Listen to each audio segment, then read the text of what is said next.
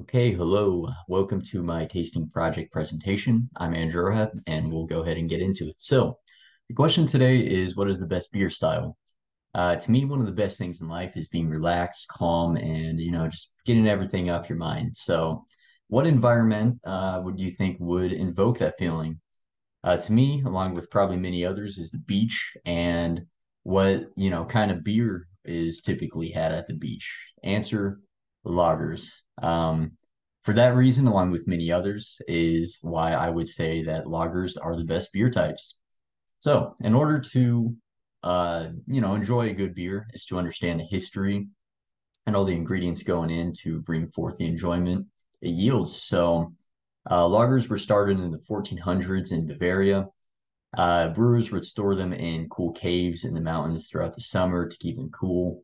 And this allowed the yeast and the heavy matter to uh, settle for a clean, clear, and unique beer.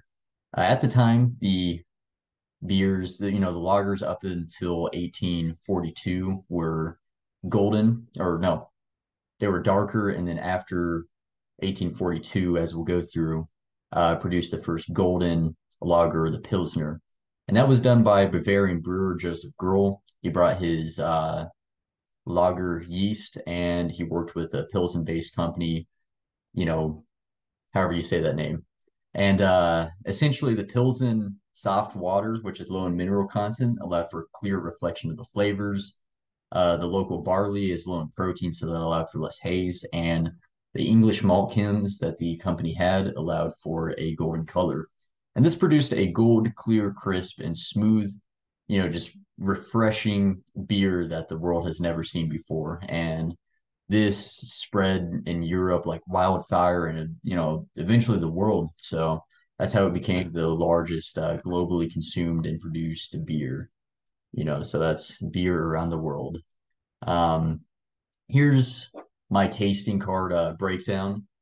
And as you can see, the lager won both the out of, you know, 300 points and the four star uh, ratings. So, yeah, uh, getting into my first uh, tasted beer, that is Victoria. It's a Mexican Vienna style lager. As you can see, it has an amber color and it has a toasted malt, caramel, then a crisp uh, hops flavor. It has a smooth, frothy, frothy uh, light to medium body, and it is Mexico's oldest beer since 1865. Unfortunately, it's not as big here in the United States compared to some other like uh, Mexican lagers, but I uh, work at a family friend's Mexican restaurant, so that's how I had this for the first time, and uh, it's one of my favorites now. So, needless to say, um, uh, my second beer I had for the tasting project was the Czechvar Original Czech Lager.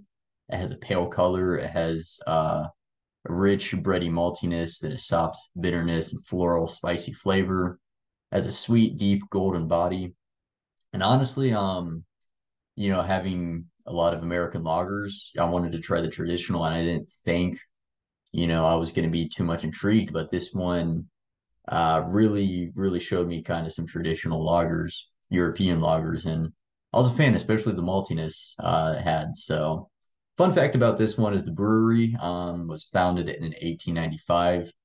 Um, you know, to kind of restore the beer at the time from a German style to a Czech style. So that's uh that's how that beer was was produced. Um, my third one was uh, bearded iris. It's a pep. It's called the Pep Talk uh, Pep Talk Lager. It's a German pilsner, and it has a clear light yellow color. It has uh, flavors of key lime, uh, white grape cider, and overripe passion fruit. Uh, just overall citrusy kind of flavor. Uh, reminded me of an IPA without the hops, so that's why I really liked this one. It has a clear light golden body and is brewed close in Nashville, Tennessee. So those are the three I had for the Tasty Project. Uh, that's what the can looks like. And here are just some of my other favorites, along with probably many others. It's there's a wide uh, diversity and variety within lagers, so that's um you could have them for many occasions as well. So um yeah, my final pitch, my final last point is that lagers are badass, as you can tell by the advertisements um, shown here. So thank you and cheers to lagers and all of the beer styles. Thank you.